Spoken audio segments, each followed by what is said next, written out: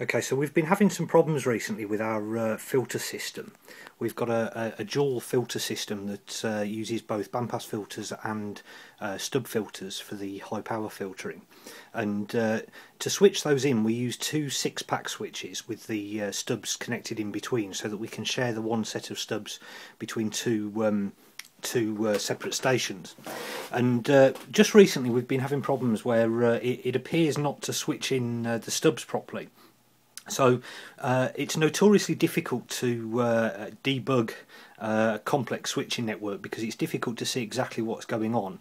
Uh, so I thought I'd just do a quick video showing the uh, the test rig that uh, that I'll put together in order to to debug the switching. what we've got is just on the end of a PL259 is an LED and a, a resistor um, on uh, on each of the uh, PL259s and all we're doing is uh, through the uh, the inputs of both radio A and radio B uh, is just injecting 5 volts from the uh, the bench power supply up there.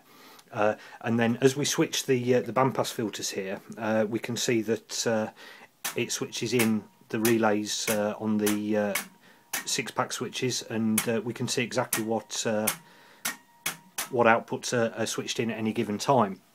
Uh, the SixPaks are controlled uh, from some relay drivers that are built into the uh, into the bandpass filters, and uh, we've been getting these problems. Anyway, if I try and demonstrate what's going on here, if I switch them in slowly,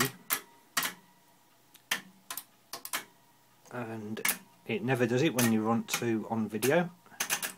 So we can see there that uh, the bottom uh, LED on the input SixPak switch is on uh, but the bottom LED on the output SixPak switch is off.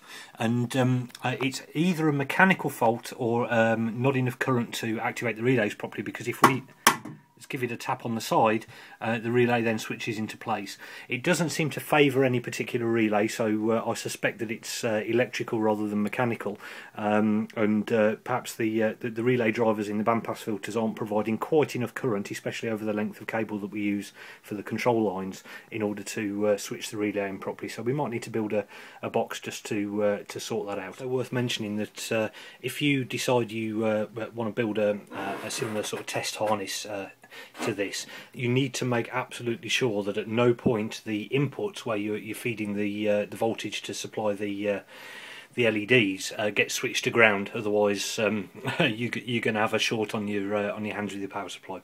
Okay, that's it for now. Thanks.